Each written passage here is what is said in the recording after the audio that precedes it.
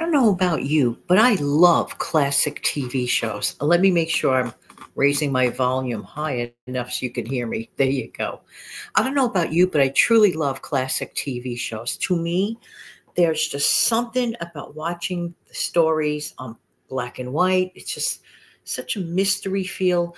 But more importantly, I have noticed there's usually a valuable lesson learned. Hi, I'm Jan. I love to help people keep some more of their own hard earned money. Could that be you?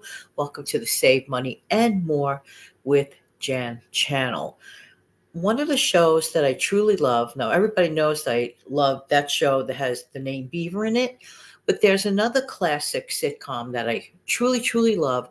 Let's just say it's about a father that seems to know his best. Got it? Okay. There is an episode, and it involves the oldest daughter. The father has a wife, they live in the suburbs, and they have three kids. One is an older teenage uh, girl, a middle one is a son, preteen to teen son, and a younger daughter. Anyway, the oldest daughter, her character name is Betty and uh, very highly sensitive, intelligent young lady. But for some reason, she was feeling out of sorts. She just felt like so many things that go on in life just don't add up, don't make sense. And for some reason or another, she thought she would catch a bus to nowhere. A bus to nowhere. And uh, she just scraped up some money, something like $9, and went to a bus depot met a whole bunch of characters. Can you imagine getting a round trip ticket to a bus to nowhere back in the day? Anyway, well, that's what she did. She just felt like she had no purpose. She didn't even care where she went.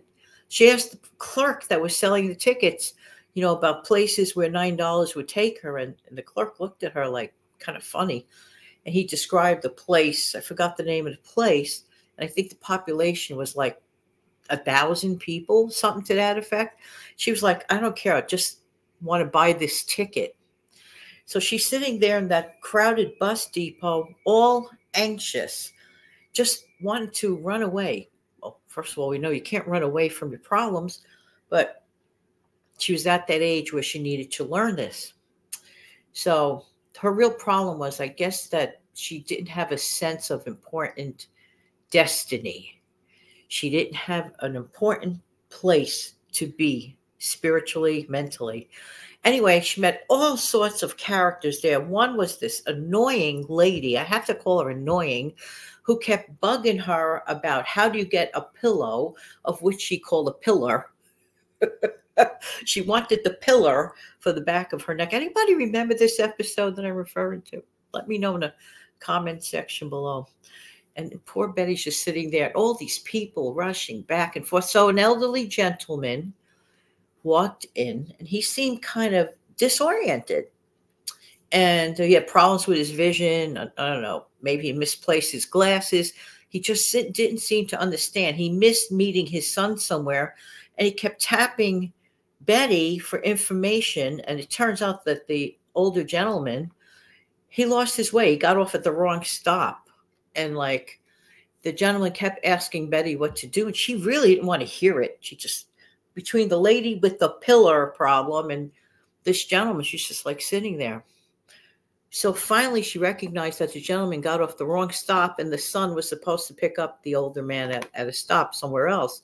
Well, she said, "Well, just you know, go back on, whatever, take the bus to that other destination." The gentleman had no money. He lost his ticket. He left his ticket on the prior bus. So, what did Betty do? Try to get more information. She took the older gentleman with her. Meantime, back at home, the family was kind of wondering, like, where where are you, Betty? Where they were ready to sit down to dinner. Till I recognized because Betty kept giving signals that she's going to run away to this bus depot. And honestly, nobody except the youngest little girl was paying attention. So then the dad realized, oh my gosh, where is she? So in the meantime, he's looking for his daughter somewhere. So she takes, so Betty takes the uh, gentleman to the clerk, the bus clerk, to get him a ticket. He had no money. So what did she do? She exchanged her ticket because she really wanted to run away. She really did not want to be where she was mentally, thinking if you run away, it's going to fix it. Well, want to know what fixed it? The joy in her heart when she got that gentleman on the correct bus to go home or to, you know, the right stop where the gentleman met his son and then the son could take him wherever they were going. And um, the older man at the end, at the bus stop, he kissed he kissed the young lady goodbye, thanking her, and he wanted to give his precious umbrella to her to remember him by. She, at first, she didn't want to take it. He was like, "No, no, no, no, you're an angel. Please take it." So she turned around. She had the umbrella. Lo and behold, it starts raining. But she also turned around, and there, waiting for her, looking for her, was her dad. Suddenly, she recognized the good feeling inside to have had a purpose, to have done something nice, to stop thinking about oneself. This random act of kindness. And I went over a little longer today, and I'm sorry about that. But for this point, it's, it's worth it. That random act of kindness was her destination. To be honest with you, today's talk turned into that. But I wanted to talk to you today about financial destination. What is your financial destination? Where are you going? Are you going to take a bus to nowhere?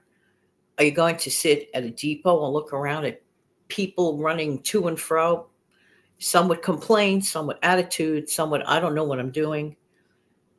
Yeah, this can be at any time, at any place in one of those stations, right? But getting back on the road to financial destination. Do you want to be like that balloon that I talk about all the time? If you haven't heard me say it yet, it's those balloons that drift from place to place, place to place without any destination. We have to have a financial destination. That's why I call certain bank accounts, all of the bank accounts, name it and claim it funds. What is your destination? I cannot answer that for you, but do know it is very important to have one. Thanks so much for being here. I really appreciate everybody's time. If you enjoy content just like this, please let me know in the comment section below. But I always love to encourage people, let me find it, to do the following.